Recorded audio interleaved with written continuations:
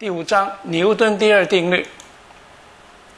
第二定律，那么这里是一个质点，它的质量是 m，速度呢，瞬时速度是 v，于是我们就把这个量 m 乘上 v 就称作动量啊，动量。那么牛顿第二定律就是说，他做好多的实验，发现当这个质点。受许多的外力作用，然后这些外力合成以后变成一个合力，合力。那么这个合力呢，会产生一个结果，啊，产生一个结果。这个结果是什么呢？就是动量的时间变化率，啊，就说有了这些合力以后啊，这个物体的动量会随着时间改变。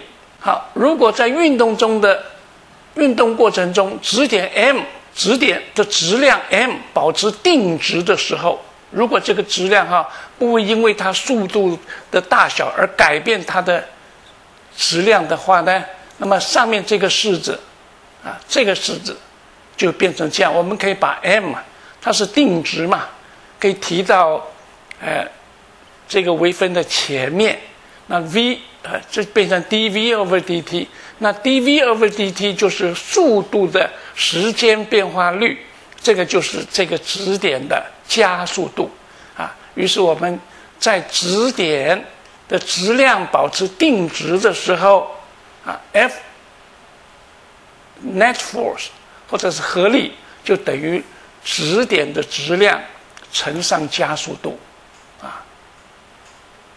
好，那么这个是质点啊。如果我们看到这个哈，物理意义就是说，这个质点受力的话呢，力是它的因呢。有了这个因以后啊，那么质点的运动状况会改变，那就是说它会产生加速度 a，啊，运动状况就是速度会随时间改变，就产生这个 a。而且，那么我们看啊。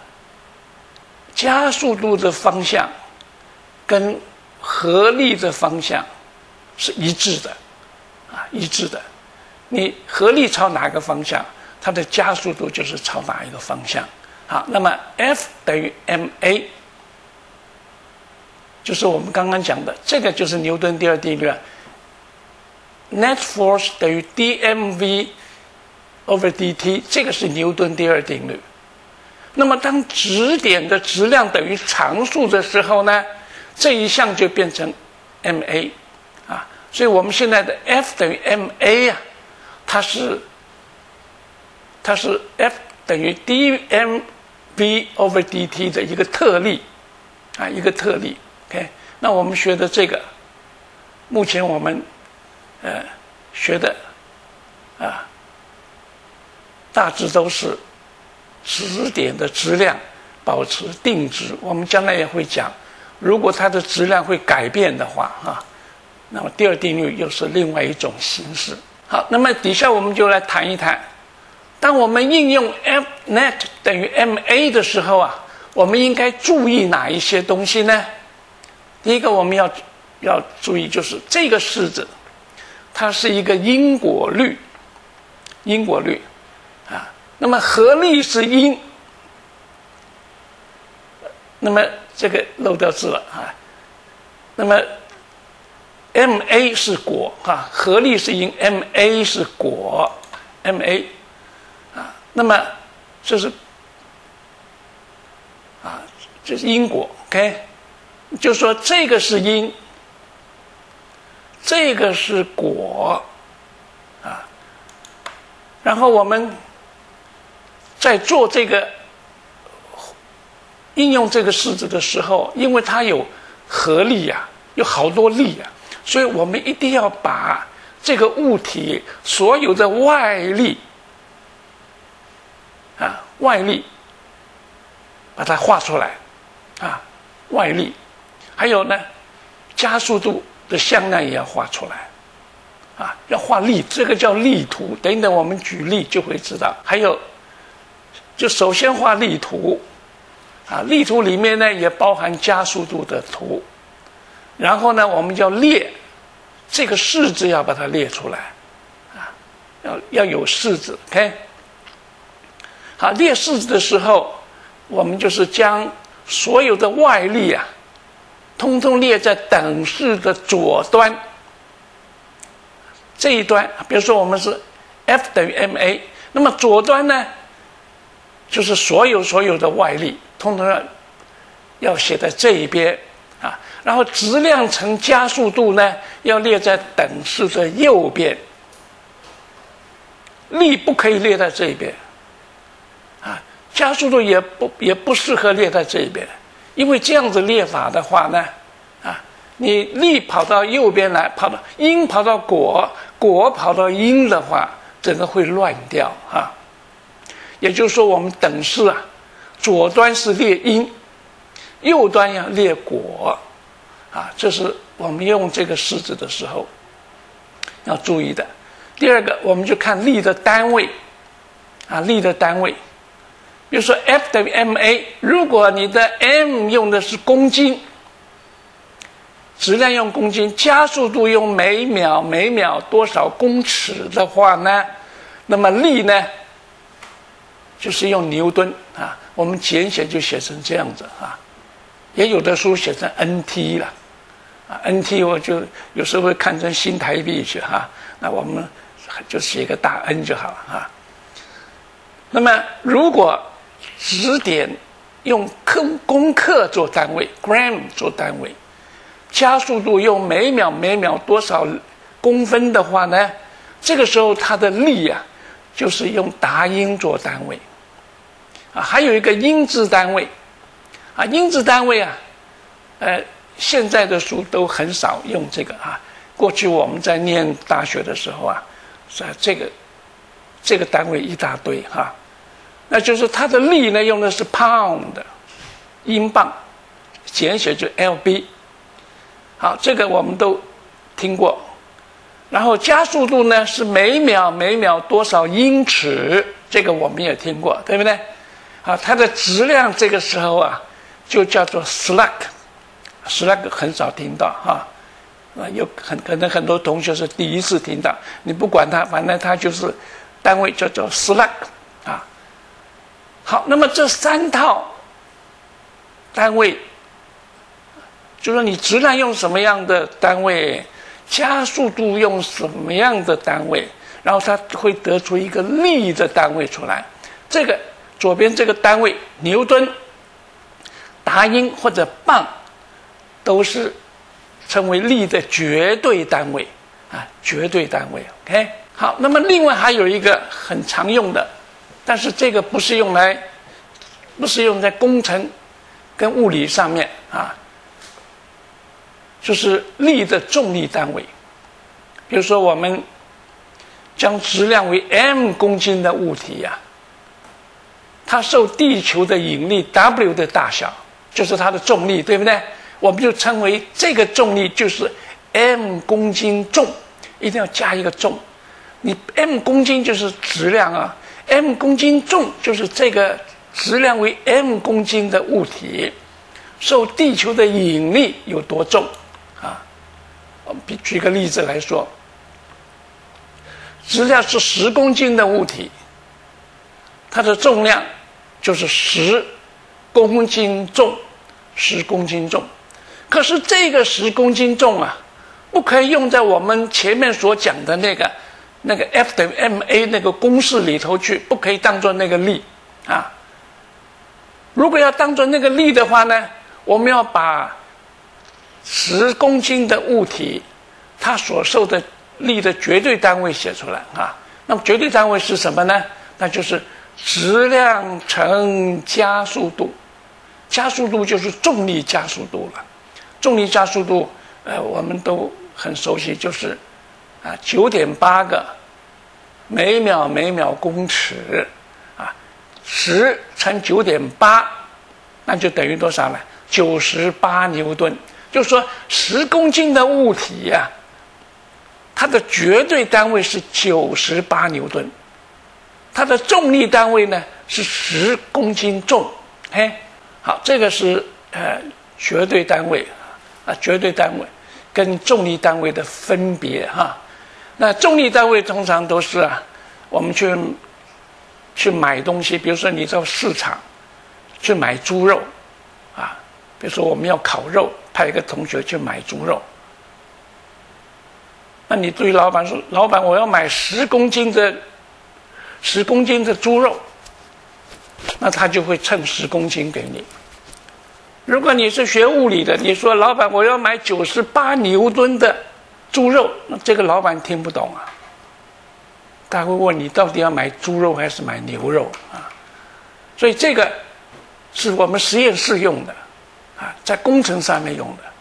那公斤重呢，是我们市场里面啊，日常生活里头常用的。OK，好，现在我们就要谈到。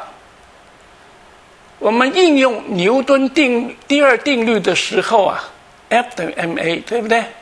左边是向量，右边加速度也是向量。那我们啊，把它分成分量，合力它有 x 分量的合力，y 分量的合力，z 分量的合力，就分成三个分量。加速度呢，也有 x 方向的加速度。y 方向的加速度跟 z 方向的加速度，这些都是加速度的分量。啊，两个向量相等，就是两个向量的分量啊。每一个方向的分量要相等啊。sigma f(x) 要等于 ma(x) 啊，sigma f(y) 要等于 my sigma f(z) 要等于 a a ma(z)。啊，我们用这个式子来计算呢，通常会比较方便，啊，会比较方便。那么这个是用笛卡尔坐标。如果我们用，另外还有一个常用的，就是说，我们把力分成切线分量跟法线分量，那么加速度也分成切线分量跟法线分量。T 就是代表 tangential component 啊。n 就是代表 normal component，那么切线方向的分力要等于 m 乘上 at，法线方向的分力就等于 m 乘上 an 啊。这个我们在应用的时候，通常都是把这个式子分成这三个分量，或者是分成这两个分量式。好，那么我们在计算的时候，常常会用到万有引力。其实万有引力，我们另外会有一章啊，十三章专门讲万有引力。不过我们现在在计算上面呢，有时候会用到啊，所以我们就先介绍一下下。牛顿发现呢，只要有两个质点，m 一跟 m 二两个质点，那么这两个质点之间呢，啊，就会有彼此。相互作用的力，就是 m 一会吸引 m 二，m 二也会吸引 m 一，啊，只要有质点，那么质点之间都会有这种相互作用力，这个叫做万有引力。那么我们现在把把这个万有引力啊，我们现在要用式子表示出来啊，所以我们要用要把向量。啊，把它规定好。比如说，我们令 r one two，r one two，啊，r one two 是什么意思呢？就是指点一相对于指点二的位置。就是说，你站在指点二啊，来看指点一，它的位置在哪里？所以你在这边看啊，你会发现它在这一边，对不对？所以这个箭头是往这一边。画过来啊，那就是 r one two。那么我们通常呢，啊，在这个方向上面，我们取一个单位向量 r one two univector 啊。那么所以 r one two 的向量就等于 r one two 乘上 r one two 的向量。好，那么我们有了这个。以后我们就可以表示啊，指点一受质点二的引力是多少？就说质点一，因为质点二存在，所以它就被它吸引过去了，哈，吸引过去了。这个力是多大呢？啊，那就我们写成 F one two，就是质点一受质点二的引力。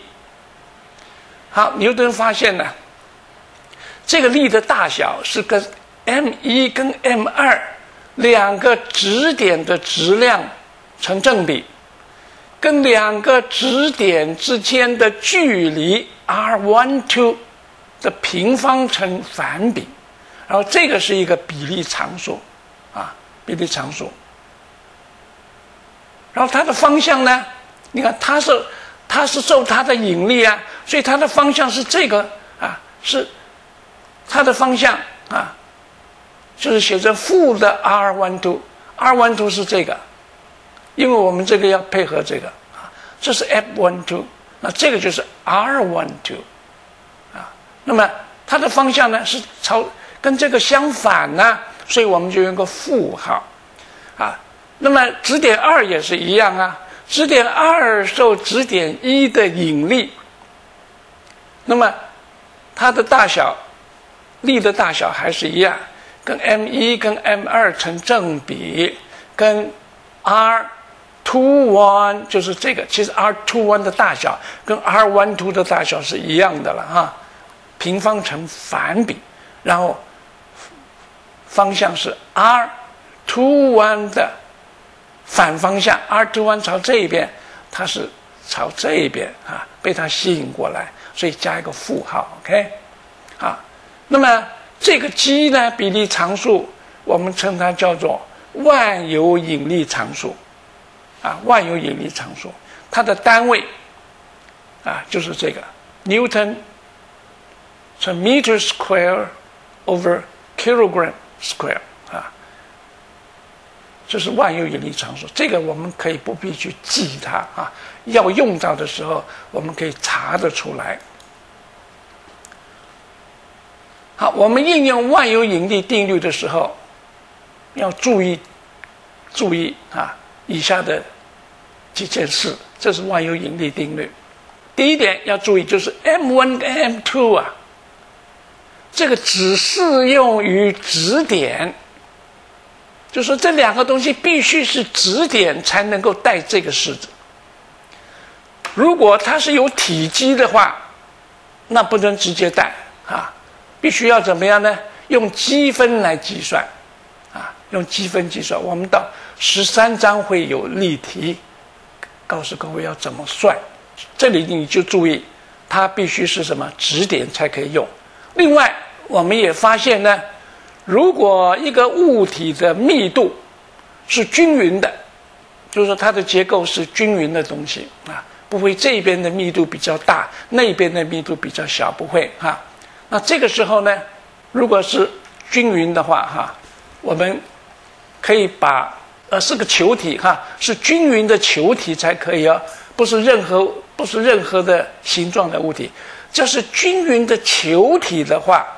那么这个物体呢，我们可以把它当作是一个质点，啊，这个质点是集中在它的球心，就是所有的质量，这个球体所有的质量都集中在球心，把它当做一个质点来看待，这个我们就可以应用啊，这个，这个是我们在计算它的时候啊，哎，发现有这么一个啊，有这么一个。现象哈，好，那里头的单位啊，这些量的单位，m 的单位用公斤，r 的单位呢用公尺，f 的单位呢用牛顿啊，用牛顿，OK。那么我们看这里始终有一个负号啊，这个向量的方向，r one two 是跟 F one two 的向量，啊，相反，啊，这个是跟它相同，但是它的力呢，却是跟这个方向相反，所以用负号。这负号的意思表示说，这万有引力啊，它是互，它是互相吸引的哈，这两个质点呢是互相吸引的，因为我们质量都都是正啊，这个也是正，这个也是正啊，不可能像不可能像电荷有正有负啊，所以这个乘起来一定是正，所以这个量一定是正，负号的话就表示这个力。是跟这个方向相反，啊，那就是互相吸引力。好，我们再看指点与地球间的万有引力，啊，这个我们在计算上面常常用到哈。比如说这个球状的，我们代表地球，质量是大 M。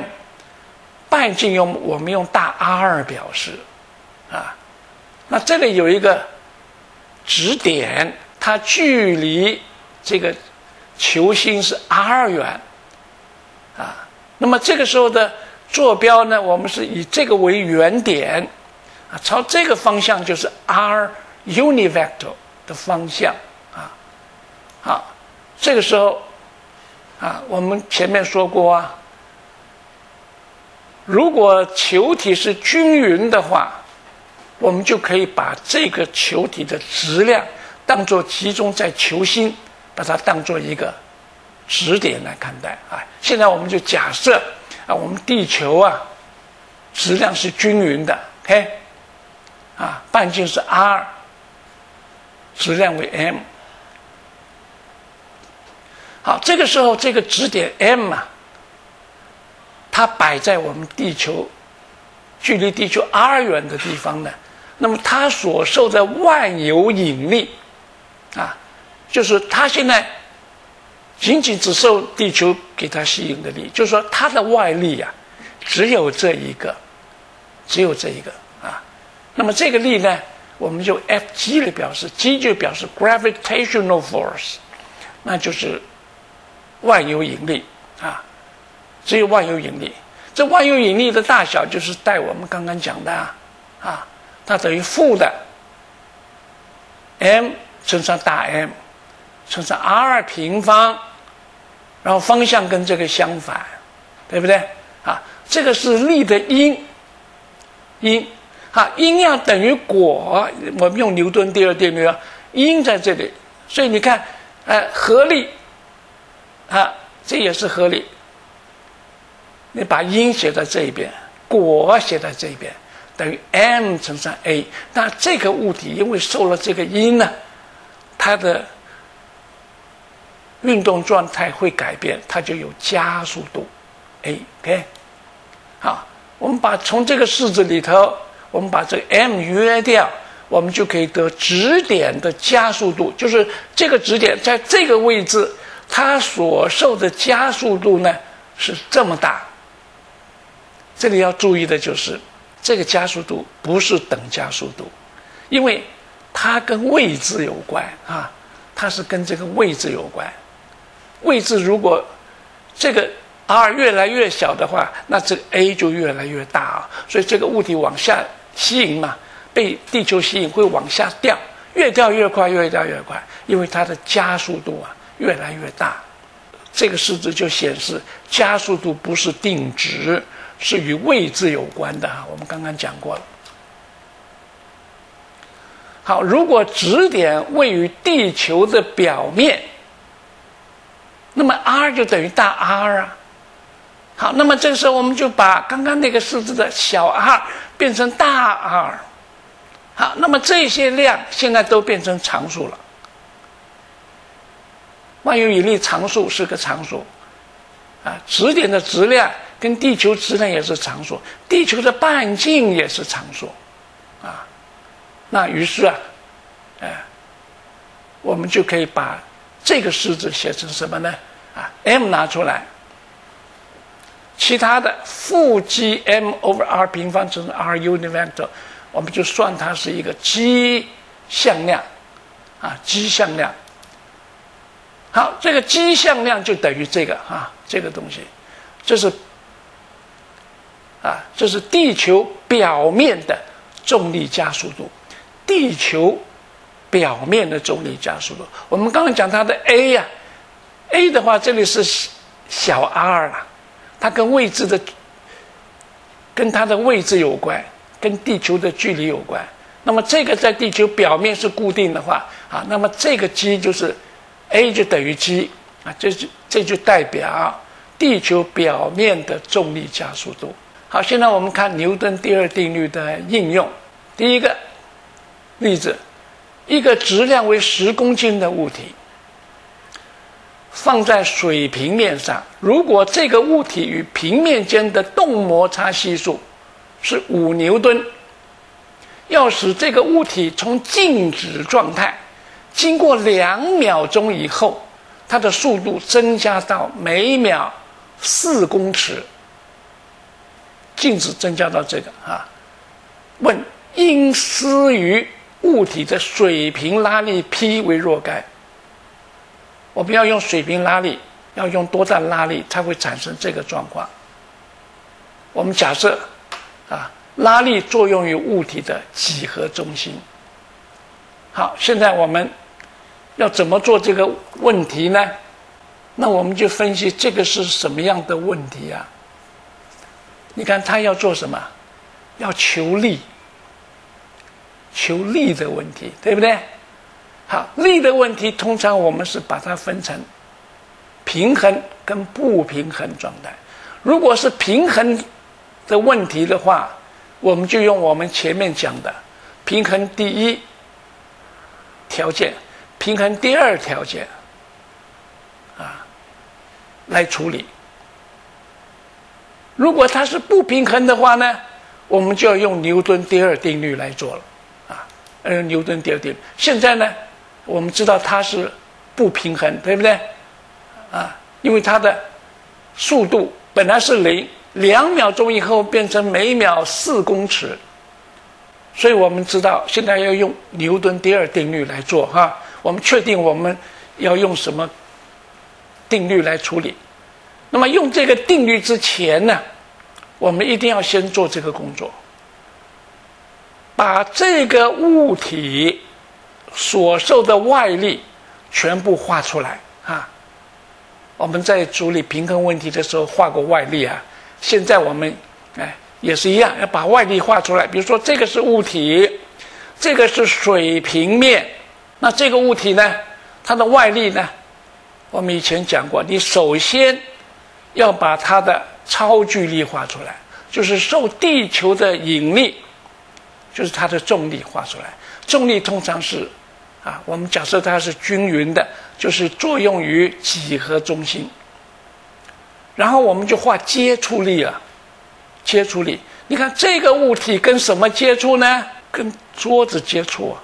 跟桌子接触的话呢，啊，它会有两个力，一个就是摩擦力，因为你拉力朝这一边呢，它有朝这边运动的趋势啊，所以作用在物体上的摩擦力就是朝这个方向，因为它在运动嘛，所以这个是什么？Kinetic friction，滑动摩擦，然后还有这个，这是切线方向的力，然后还有一个法线方向的分力，那就是水平面施于这个物体的一个垂一个一个正向力啊，这叫 normal force，正向力。哎，好，所以那么还有一个接触力，就是绳子来拉它，对不对？你你你，你要施于这个物体的水平拉力嘛？啊，就水平拉力就是这个力，P 啊，这里告诉我们要用 P，我们就用 P。好，力都画出来啊，一个都不能少啊。然后呢，我们也要把加速度画出来。画出力以后啊，外力以后，力图画好了。啊，第二个我们就要列式子。列式子，我们现在呢就把牛顿第二定律啊，用两个分量式来列，啊，分量式来列。第一个，啊，你写这个，先写这个也可以，先写这个也可以。那我们就看垂直方向，我们都是把它当做 y 方向了。Y 方向的合力呢，只有这两个力啊。正的是 n，朝负的方向是 w，啊，因为这个我们是一维空间，一维空间的向量用正负号来表示哦，正的就表示向上，负 w 就表示它是向下，啊，这两个合力要等于零，因为它没有加速度啊，这方向没有加速度啊，可是我们发现等一等呢，这个式子我们没有用到哈。好，第二个分量，sigma f x，x 方向的分量就是 p，x 方向就是这两个力啊。朝 x 正方向的是 p，好，这个是朝负方向，负方向我们用负 f k，就是正方向的力加上负方向的力，负方向因为它是负的哈，朝这个方向我们用负的，好，这是合力。合力，那等于，这是因等于果，果是什么？它就 m 乘 a 呀，a 就是它的加速度啊。我们要做的是要求的是 p，可是这个式子里头呢，a 也是一个未知数，a 也是未知数，它没有告诉我们多大，它只告诉我们说，起初是静止的。用力拉它的时候呢，两秒钟拉了两秒钟，它的速度变成每秒四公尺啊。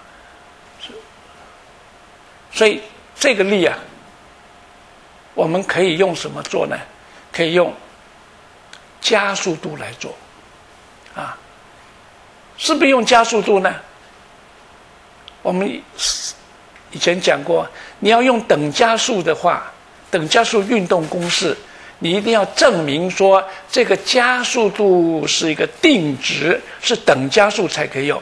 那现在我们就把这个式子画成这样子，m 除过来啊，你看 P 是一个定值嘛，啊，水平拉力就是一定的水平拉力，Fk 是定值，Fk 它等于 mu 啊 mu k n 啊，n 是定值，这个也是定值啊。小 m 也是定值，因此这个就是一个定值啊。所以这个物体它它是做什么呢？等加速运动。所以我们可以用等加速公式来算这个 a 啊。等加速公式我们很熟悉的一个 v 等于 v 零加 at，所以我们就得 a 等于 v 减 v 零 over t。那我们把 v 带进去，每秒四公尺，v 零是零。被两秒来除，所以它的加速度是每秒每秒两公尺正的。正的是什么意思呢？就是说它加速度是朝这边的哈，朝这边正的。好，然后 a 求出来以后，我们就把它带到这个式子里面去。所以 p 呢，就等于 ma 加上 fk 啊，这 k 漏的 fk，所以它就等于。啊，m 十公斤的物体乘上二 meter per second square 啊，加上摩擦力五牛顿啊，然后我们就求出这个呃，P 是二十五牛顿。嘿，这这个题目啊就这么做完了。好，第二个例题就是一个电梯的地板上。放了一个磅秤，磅秤上面呢站了一个乘客，他的质量是八十公斤啊。站上去以后，他磅秤上啊只是哎你是八十公斤。好，那么这个电梯起初啊是以每秒十公尺的速度下降，然后停在二下方二十五处的楼层，就是电梯往下了。下一站要停的是。是二十五公尺下面。问，在这个下降过程中，磅秤显示乘客的重量是多少？啊，我们可以，我们可以看看这个图。啊，这是一个磅秤，这是一个乘客，他站在磅秤上面。那电梯是往下，现在要从这里开始到这里要停止啊，下降下降到这里要要停止。问这个时候磅秤上。指示的重量是多少？本来它是质量是八十公斤，那后来的重量是多少公斤？好，我们现在要要做这个问题，我们就知道啊，是什么问题呢？因为我们要求磅秤上显示的重量，乘客的重量，那就是乘客给磅秤的力，对不对？我们要求这个力，所以是力的问题。那力的问题，我们又把它分成平衡问题跟不平衡问题。现在这个系统是平衡还是不平衡呢？我们说它是不平衡，因为它的速度在改变。起初是每秒十公尺，然后下到二十五公尺的时候啊，速度变成零了，对不对？停在这里一定要是零啊，所以它是不平衡问不平衡的问题。那么平衡的问题，我们用平衡的条件可以做。那现在不平衡呢？我们就是用牛顿第二定律啊，所以我们叫牛顿第二定律。那你就要把牛顿第二定律写出来哦。好，我们把外力画出来哈，这里把外力画出来。这个人在这里，他现在受什么外力呢？第一个，我们考虑超距离，地球吸引他嘛，所以 mg。朝下，然后呢？还有什么力呢？因为它站在磅秤上面，磅秤会有一个正向力，啊，正向力 N。因为这个电梯没有朝水平运动，所以它没有水平方向的分力，只有这个分力啊。好，那只有这两个力啊，一个是重力，一个是磅秤给它的力。那么现在我们要问，你们要问？或者会会会问这个问题啊？还有没有别的外力？你说这个缆绳难道没有外力吗？缆绳它是并没有作用在这个人身上啊。这个外力是指这个人所受的外力，直接受的外力。缆绳只是作用在电梯上面，除非这个缆绳呐绑在这个人的脖子上啊，才会给他力，否则的话。啊，缆绳不会有力，就这两个力。好，这两力的合力在这边，N 朝上是正，mg 朝下是负，要等于 ma 质量乘加速度。好，那你把 a 也画出来啊，a 力画在这里，a 画在这里，因为它从这里有速度下降嘛，每公尺十，啊，每秒十公尺，到这里零了嘛，所以它加速度应是朝这边。好，那么我们现在你要求的是 n，可是这边 a 也不知道，可是 a 我们可以求出来。比如说，它可不可以用运动学来求呢？那么目前我们只学只学过什么等加速运动公式，等加速运动啊，跟变加速运动。那我们看看这个加速度到底是等加速还是变加速啊？我们把这个式子变一变，变成这样子。啊，我们知道 n 是一个啊，mg 是定值，这没有问题的。这个人的质量是一个定值，这个 n 呢，就是你站在这个这个上面，n 呢是不是定值的？题目没告诉我们啊。如果这个电梯啊，它是在这里抖的话，哈，它不是很顺的降下来，在这里还顿对一顿一顿的，那这个 n 可能会变了。可是这个。电梯，我们假设它是很平顺的减速下来的话呢，啊，我们可以假设这个 n 是一个等，是一个定值。好，那你说如果它不是定值呢？不是定值的话，那 a 不是定值，它有没有告诉你不是定值的 a 哈？你要计算的话，你要知道 a 跟时间的关系，还有 a 跟位置的关系啊。那现在呢？都没有，对不对？所以，如果它不是一个定等加速的话，这题我们没有办法解，没有办法解就没有意思啊！啊，那我们为了要解它，我们就假设说，哎，加速度是一个定值，那么就是等加速运动哈。好，那么我们现在就可以用等加速运动公式的这个式子，v 平方等于 v 零平方。加二 a y 减 y 零，你把 v 就是到二十五公尺的这个地方呢，它停止了啊。v 零是十每秒十公尺，要注意哦，这个地方我们用负号啊，为什么用负号呢？因为它是下降，对不对？啊，它是朝 y 的负方向，所以负的。再加上二 a，a 我们是画这个方向，所以是正的。然后呢，y 后来的位置二十五公尺是负的，在原点下方啊，减到起初是零，OK，a 等于这么大，就是它的加速度啊。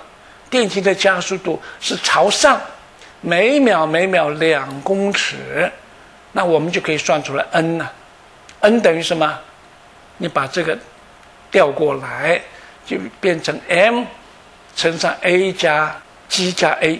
m 是八十公斤，g 是重力加速度九点八每秒每秒公尺，a 是每秒每秒两公尺，所以等于。九百四十四牛顿，好，磅秤上显示的重量是这个，这个叫做什么？apparent weight，叫做示重啊，示重，你看起来是多重？OK，好，那么我们说，你现在要求的是 n 哦，n，n w 是 w prime 是什么呢？啊，w prime 是这个人往下。示重就是往下施力于磅秤的啊，所以它的 n 啊不是 w 是往下，w prime 是往上的哈，好，那么这个 n w prime 是这个是一个什么？我们现在写在这里都是绝对值啊，就不管方向啊，w prime 跟 w 都是往这里的，就是它的大小。就等于 n，就九百四十四牛顿啊，所以它的示重是九百四十四牛顿。好，那么原先是八十公斤呢，那九百四十四牛顿，呃，相当于多少公斤呢？啊，它是相当于啊，乘客的实重，现在是九百四十四牛顿，现在是是这么大。那原来的原来是八十公斤。八十公斤只有七百八十四牛顿，所以它现在是比较重了啊，因为电梯在刹车有个向上的加速度，OK。